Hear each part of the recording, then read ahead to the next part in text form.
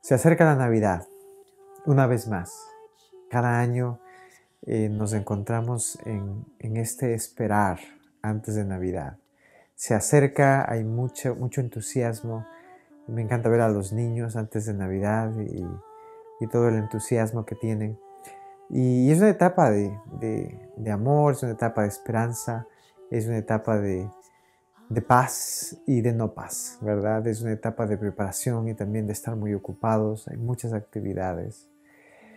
Y bueno, simplemente quiero en esta ocasión, a través de este video, eh, recordarlos, decirles que los estimamos como, como, comunidad de Faith Walking en español. Es la primera vez que, que envío un, un video eh, saludándolos y, expresando mi estima, mi gratitud y de alguna manera decirles que pienso en ustedes. He tenido la oportunidad de eh, facilitar creo que todos los retiros que hemos hecho en español o participar en ellos y, y, de alguna manera si están recibiendo este video nos conocemos. Así que quiero decirles que los llevo en mi corazón. Y compartir con ustedes una eh, pequeña meditación eh, en este tiempo de Navidad, con la esperanza de que sea útil. En medio de la preocupación de todos los quehaceres y, y todas las cosas que se deben preparar, eh, es bueno meditar.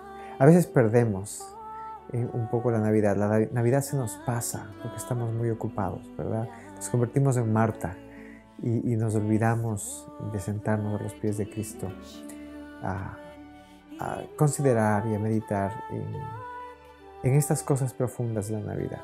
Y es probable que para algunos de nosotros la Navidad no traiga recuerdos necesariamente agradables, eh, sino experiencias que no queremos recordar. Sea como sea, los invito a, escuchar o a participar de esta meditación.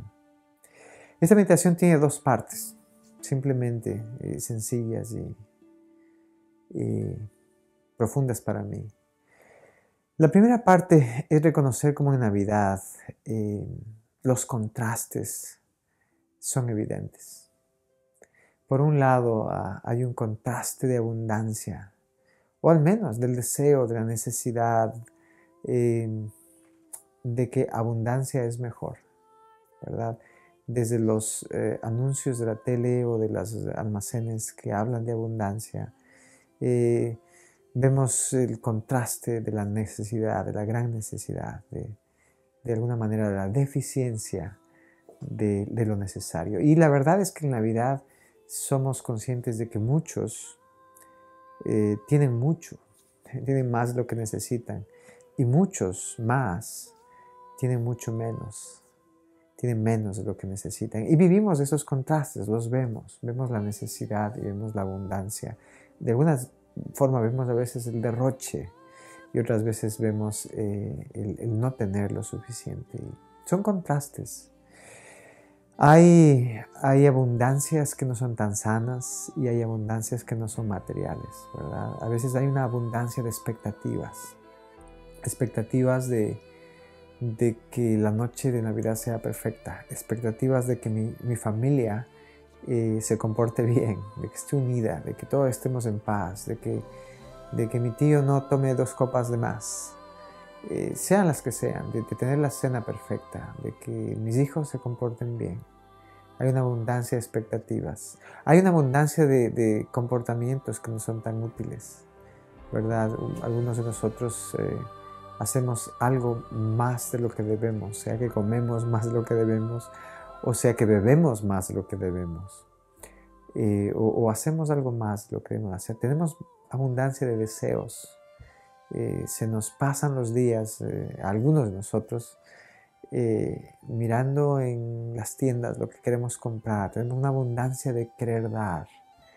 Pero creer que a veces queremos darnos desde ese centro de la verdadera identidad, de, de, de, de, Dios en mí, de Cristo en mí, esperanza de gloria, sino que queremos dar desde un deseo de simplemente queremos dar por compulsión, para, que, para ser amados, queremos dar porque de esa manera eh, nosotros también vamos a recibir. Y Lo digo sin juicio y condenación. Creo que yo he estado en todos esos lugares, ¿verdad? Todos esos eh, expectativas, eh, comportamientos, esas abundancias no tan sanas, tienen también deficiencias que no son tan sanas. Eh, el no esperar nada. El pensar que Navidad va a ser un día como cualquier otro. Es una deficiencia en el otro sentido. En fin, la Navidad es un tiempo en donde los contrastes son evidentes. Pero podemos también pensar en este otro contraste, es el contraste de la luz. La luz eh, en Cristo. La luz vino al mundo. Eh, la luz abundante de, un Salvador, la promesa de Dios, la salvación de Dios, el Salvador que necesita mi alma. Mi alma necesita ese Salvador, el Salvador que necesita mi hija, mi hija necesita ese Salvador, el Salvador que necesita mis relaciones. La promesa de Dios de sanar, de restaurar, de reconciliar, es la luz que se encuentra a veces con las tinieblas, ¿verdad? No solamente las tinieblas de, de, la humanidad, sino las tinieblas de mi humanidad, mi resistencia interna, mi deseo de no querer conectarme con las personas, mi deseo de, mantenerme apartado de, ciertas personas eh, que no quiero ver. Eh, mi resistencia de querer recibir esa luz. La gran promesa de Dios a veces se encuentra con la gran oscuridad de mi corazón. Y no es diferente pensar que eso sucedió en, Belén. Es, como esa pareja que, estaba viajando junta eh, hacia Belén, ¿verdad? Y esa joven embarazada, esa adolescente embarazada, eh, que estaba a punto de dar a luz y tuvo que encontrarse con esa oscuridad de, llegar al lugar donde no hay lugar, de llegar al, a, la posada donde no hay posada, de llegar al lugar en donde todo el mundo está ocupado y, en sus propios quehaceres y en su propia celebración. Y le dicen, lo siento, pero no te puedo ayudar. Por favor, sigue tu camino, alguien más te ayudará. La luz se encuentra con la oscuridad. Y, lo que descubrimos en ese contraste de luz y oscuridad es que la luz es paciente, que la luz espera ser recibida. Y la luz viene, aun cuando no estamos listos para recibirla. No solamente viene, sino que está ahí y ha estado ahí siempre. ¿A dónde puedo esconderme? ¿En dónde me puedo esconder de tu presencia? Si aún fuese a la profundidad del océano, ahí estarías tú conmigo. Tu luz es más grande que mi oscuridad. Y esa es la realidad, que esa promesa de Dios, que se encuentra con mi oscuridad a veces en Navidad, es paciente conmigo. Y espera, y espera. Y espera, ¿qué es lo que espera? Espera que yo eventualmente abra mi corazón que yo eventualmente diga sí. Este es un sí existencial, un sí a Dios. Es un sí que no tiene un, un pedido específico, sino que el pedir algo lo pide todo al mismo tiempo. Lo que espera es un sí desde el profundo deseo de mi corazón. Un sí al amor, un sí a la fe, un sí a la sanidad, un sí a ti, Señor. Quiero recibir luz y espera con paciencia porque no siempre estoy listo. Y hay veces que la Navidad realmente eh, lo que es es la luz esperando a que la oscuridad esté lista para recibirla. Y en eso me encuentro yo. Y a veces el que está esperando soy yo. Y no espero a la luz, me espero a mí mismo. espero estar preparado, espero estar en el, eh, llegar a ese momento en el cual puedo finalmente rendirme y permitir que la luz entre y ofrezca su luz, su, sanidad en las áreas más oscuras de mi corazón. Y esa es la Navidad. Luz y oscuridad. Y vence la luz.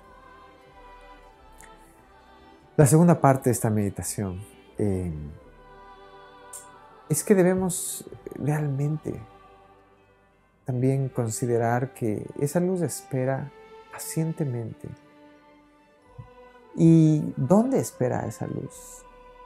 Espera en, en el pesebre, espera en, no, no, en la posada, no en el hotel, no en el palacio, no en la abundancia, sino que espera en el pesebre, en la necesidad, en el frío. Y de alguna manera la promesa de Dios encuentra ese pesebre ser suficiente, suficiente para ese momento, suficiente para lo que Dios quiere.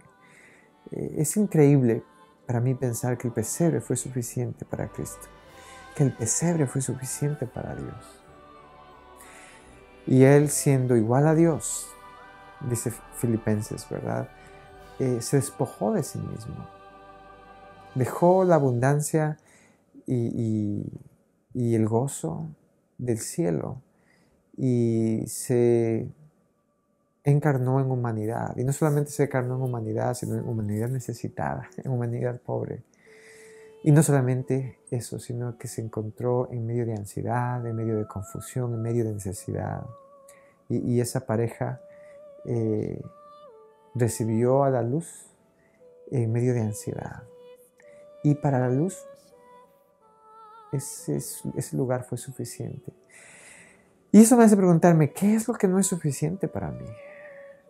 Eh, ¿Por qué actúo como si lo que hay no es suficiente? Y lo digo con, mucha delicadeza. Eh, en mi caso me hace pensar en mis propias compulsiones, mis propios deseos, las cosas que yo no puedo mejorar, no puedo, que, que no llega a satisfacer. Parece que es un vaso que nunca se llena, ¿verdad? ¿Qué es lo que no es suficiente? Si fue suficiente para Dios, si Dios se conformó con lo poco, ¿por qué no me puedo yo conformar con lo mucho? Y busco aún más. La verdad es que solo cuando dejo ir, así como Cristo en ese ejemplo dejó ir, dejó ir ese cielo, dejó ir esa satisfacción, sabiendo que lo que dejaba ir nunca lo iba a perder, ¿verdad? Eh, la diferencia es que yo tengo que dejar ir mi compulsión, mi miedo, mi, deseo de, tener más, mi deseo de, de, no estar satisfecho. Eso es lo que tengo que dejar ir eh, para poder entonces crear un espacio en donde el que llena ese lugar es Dios. Y esa es la Navidad. Es Dios llenando el pesebre de luz, un pesebre normal, un pesebre pequeño, pequeño pesebre. Así que la verdad es que solo cuando me vacío de eso que es mi falso ser, eh, le permito a Dios no solamente llenarme, sino llenarme de una manera en la que yo puedo realmente dar. Es entonces cuando yo puedo dar, cuando yo puedo regalar. No regalar desde ese punto de falso ser del, que hablaba, que, que, da para recibir, que da para ser amado, que da para ver si puede llenar algo en sí mismo es ese, ese dar que viene desde el verdadero ser, la verdadera identidad, ese Cristo en mí que da porque, porque ama y, que viene de una simpleza, de la, simplicidad de Dios y de Cristo, el amor de Cristo en mí.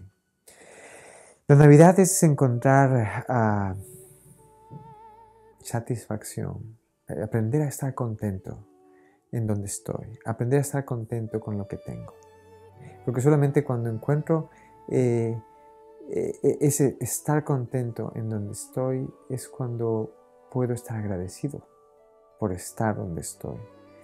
Y es cuando puedo realmente alabar a Dios eh, desde un corazón que está centrado en Él. Así que esa es mi meditación, la que comparto con ustedes. que la Navidad de una manera u otra es un reto. Y el reto es eh, aprender a estar contentos en donde estamos, porque es suficiente, es suficiente para Dios. Y aprender a permitir a, Dios esperarnos y aprender a darnos permiso a nosotros mismos para esperarnos a nosotros mismos y reconocer que lo que realmente sucede en Navidad es que esa luz pacientemente espera ser invitada y ser recibida en los lugares de mi propia oscuridad. Esa es la Navidad para mí hoy. Los queremos mucho, lo recordamos y le deseamos desde todo el equipo de Fear Walking una muy feliz Navidad.